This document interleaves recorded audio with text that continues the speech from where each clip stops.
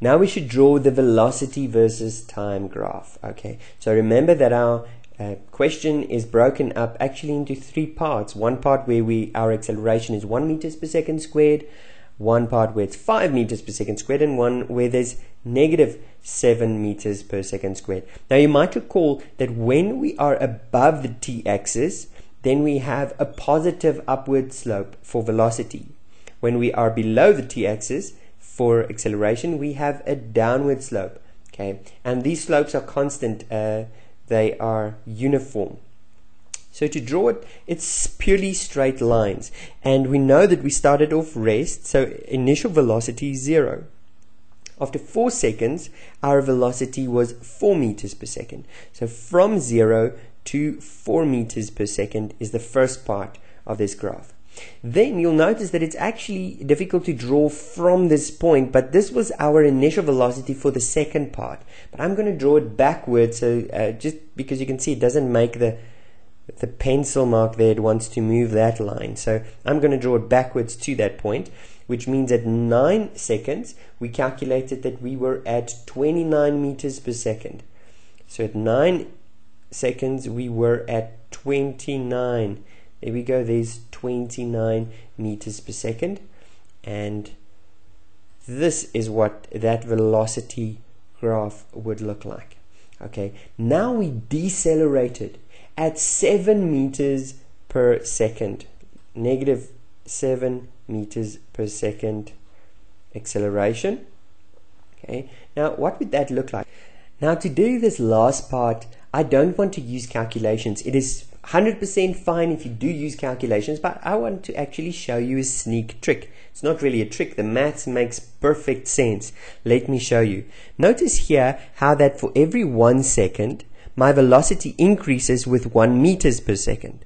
Okay, in other words, if I look at this slope, one second forward and one meters per second upwards. So I see that I have one meters per second for every second. That's for this first part. Now that means it's 1 meters per second squared. Look at the second part. For every one second, I go one, two, three, four, five meters per second increase. So in one second, I go from 4 meters per second to 9 meters per second, which means for uh, I have an increase of 5 meters per second per second.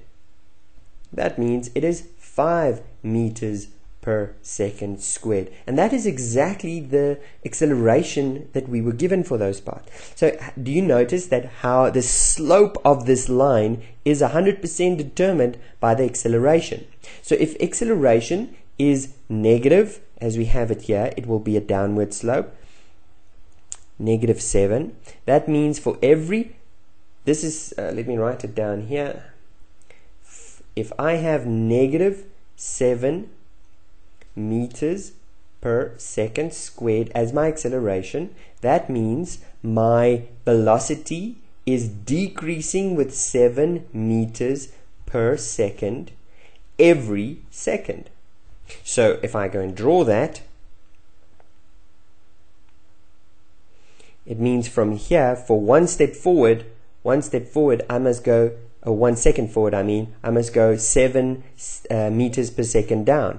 One, two, three, four, five, six, seven. So this will be the slope. Okay. And for how many seconds does this slope continue? Well, let's have a look. It continues for one, two, three, four seconds, or you can just look, it must go up to 13 seconds. So I must keep this slope, okay, is it slope until I get to 13.